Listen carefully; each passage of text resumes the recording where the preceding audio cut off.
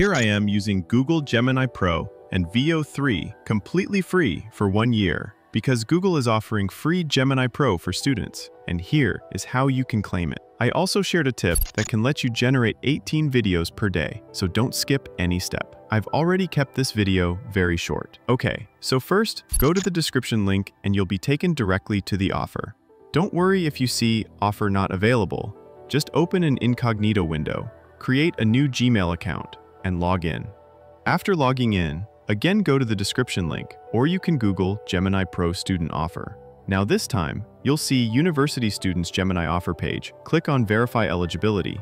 Here you need to fill in all the details of your school and upload your old school photo ID. What if you don't have this? Try to arrange it from any student, or use ChatGPT to create a photo ID. Maybe it'll work. After filling in all the details, click on Verify Student Status. Now, you need to upload your student photo ID and submit it. After some time, it will get verified.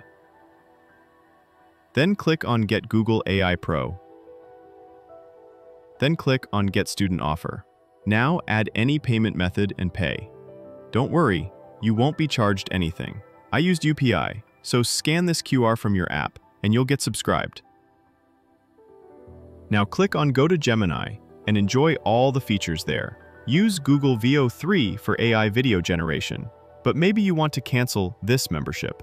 Go to your Google account, then go to Payments and Subscriptions, then Manage Subscriptions. Click on Google One, then click on Manage, and now you can see Cancel Subscription. That's it. Here's one tip for generating 18 videos per day using Veo 3 because Veo 3 normally only gives 3 videos per day.